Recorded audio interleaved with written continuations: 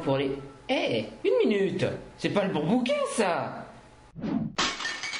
Hmm, euh, Ça doit être celui-ci. Hmm. Qui es-tu? Oups, pardon de vous avoir dérangé, je... Ah, ça doit être ça. Tiens, il y a un mot. Voilà le vrai bouquin que tu dois lire, ne comprends pas comme la dernière fois. Bah, t'avais qu'à mettre le titre sur les bouquins sur la couverture, hein, crétin Bon. Il était une fois un jeune garçon. Il se nommait Michael J. Il fait des vidéos sur Internet et il a eu un certain succès et a pu embaucher d'autres personnages pour ses vidéos. Ce soir est le soir de Noël.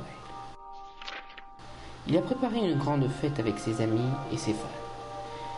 Bien qu'il ait tout préparé pour le déroulement de la nuit, Michael J attendait surtout les douze coups de minuit, car il avait préparé une petite liste de Noël dont il avait fait part aux invités de sa fête.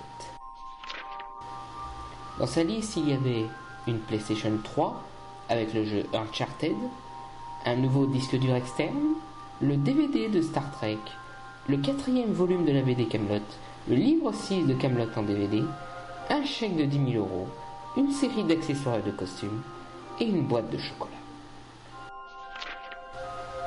Le soir venu, tout le monde était là. Willy, Megabrain, Gilles 39, Alert Spoiler, Rescuer, même le professeur Van Delcache et Slum the Pack étaient venus. Enfin, Slum the Pack est surtout venu prendre des pierres et les ramener chez lui, et Van Delcache prévenait que le lendemain il lancerait ses missiles nucléaires sur la Mongolie. Ah, il a aussi torturé deux ou trois fans avec sa machine à générique de Digimon.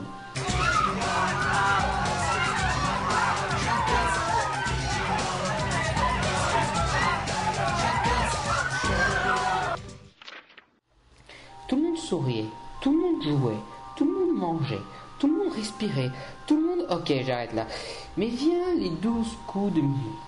Les joyeux Noël retentissaient dans tout le studio d'MJ Prisbois. Et vient la distribution des cadeaux. Michael J ouvrait avec férocité et passion ses cadeaux. Mais point de PlayStation. Petite déception qu'il oublia vite. Mais pas non plus du disque dur externe. Il accepta sans pencher. Mais pas de Star Trek. Bon, maudissant légèrement les supermarchés qui proposaient en masse Cyprien, Fast and Furious 4 et autres films aux qualités d'un politicien d'extrême droite lobotomisé et accro à TF1, mais gardons son calme. Point de BD Camelot, imaginant qu'il a prévenu trop tard. Point de Camelot, livre 6.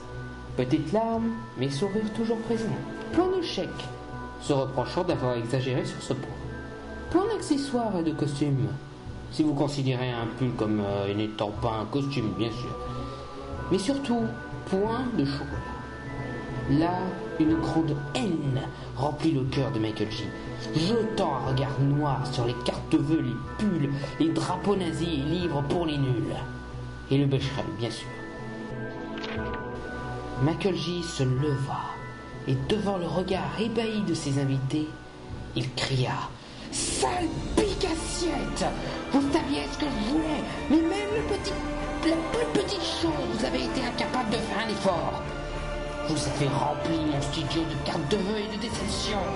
Après tout ce que je vous ai montré, après tous les rires, les critiques et les découvertes que je vous ai fait partager, voilà comment vous me remerciez.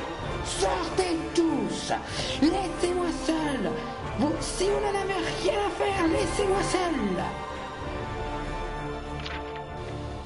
Tous les invités partirent et gardèrent le nom de Michael J. des gens qui n'apprécieront plus la présence. Alerte et Willy jurèrent de ne plus revenir à MJ Prison. Vandelcage tourna ses missiles vers la Corse. Et quant aux autres, réorganisèrent leurs agendas et leurs abonnements YouTube. J resta seul dans le studio vide et froid, où retentissait encore son cri de haine, prêt à brûler tous ses cadeaux. Et soudain, une lumière apparut devant lui. Michael J lisa Qu'est-ce que c'est que ça? Une forme humaine commençait à se dessiner dans cette lumière. Michael J lisa Ja- Jacob Marley, c'est vous? La forme se précisa, un visage se dessina, celui du comédien Alexandre Astier. Michael J lisa alors Père Noël Alexandre répondit Joyeux Noël, Michael. Et Michael J répondit Ouais, c'est ça, ouais. Alexandre disa Qu'y a-t-il, noble chevalier? Tu sembles bien triste. Et Michael J répondit Je passe un Noël très décevant, voilà ce qui se passe. Et Alexandre dit ça. Et pourquoi ça? Et Michael J répondit Parce qu'il y a un connard de narrateur qui n'arrête pas de commencer toutes nos phrases par il dit ça, et que s'il n'arrête pas, je lui fais bouffer son bouquin de merde. Et Michael J dit Ta gueule! Ok, ok, c'est toi qui saigne mon chèque après tout.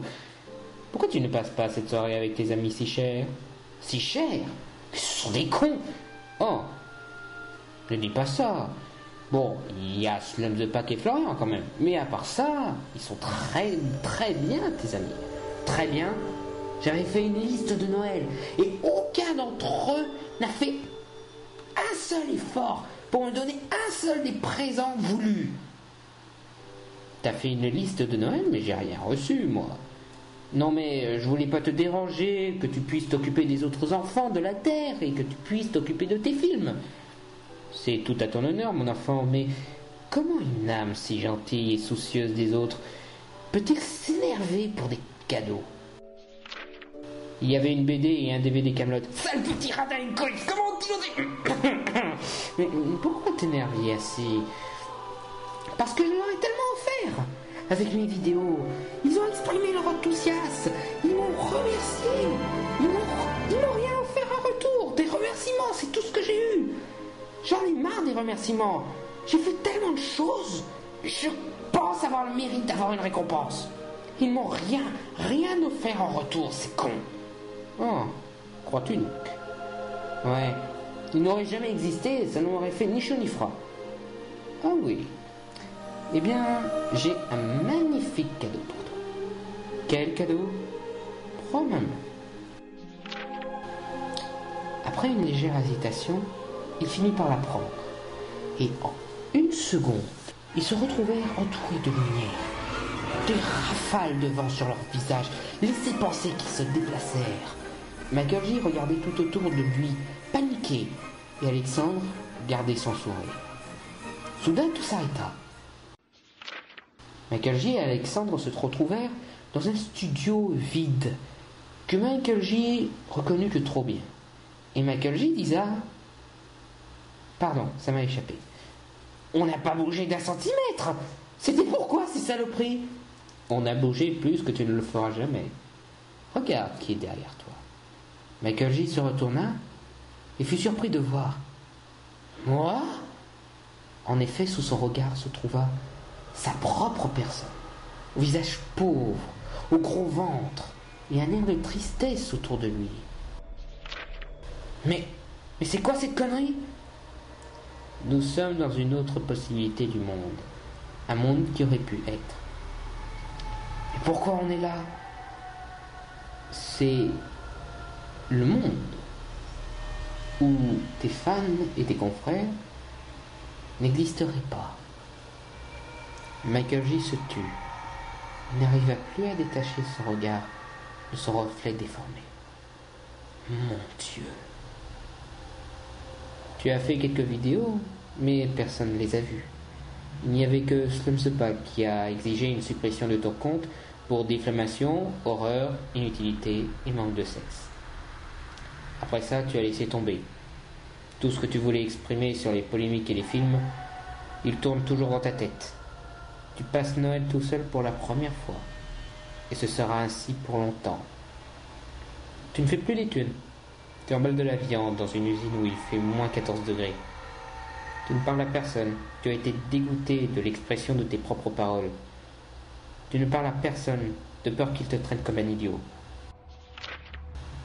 Ah, et tu as eu un cadeau que tu avais commandé. Une boîte de chocolat. De la part de ton meilleur ami. Toi-même. Ça suffit, j'en ai assez vu. En se retournant, il dit que le visage d'Alexandre avait changé. C'était le visage de son double. J'ai dit ça suffit Cesse de me montrer ça Disparais Et d'un mouvement de bras brusque, son double disparut d'un coup de vent. Michael J cacha ses yeux en criant.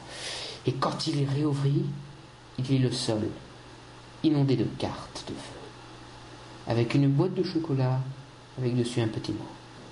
Que chacun de ces chocolats te rappelle l'essentiel. Signé Père Noël. Revenant à la raison, il se releva et vit que tous ses invités étaient là.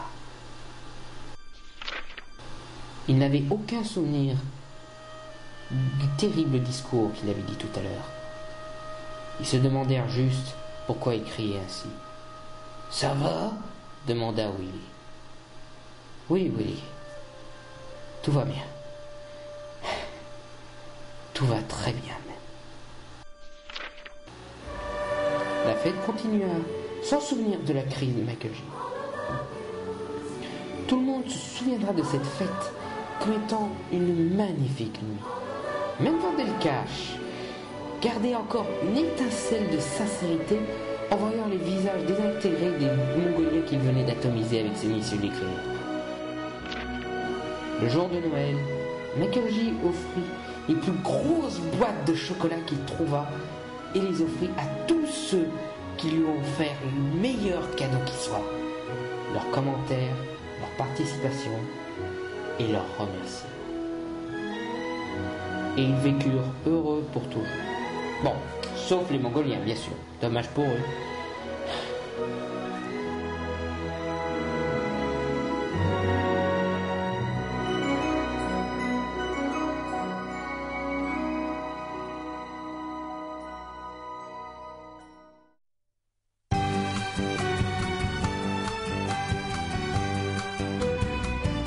Well, I woke up today and the world was a restless place.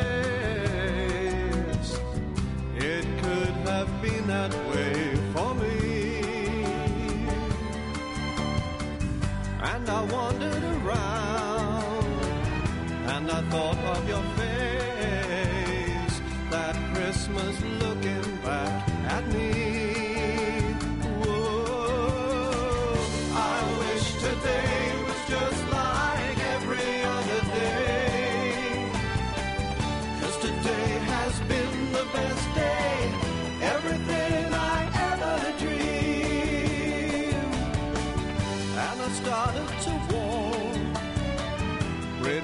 soon I will run and I'll come running back to you. Cause I followed my star, and that's what you are.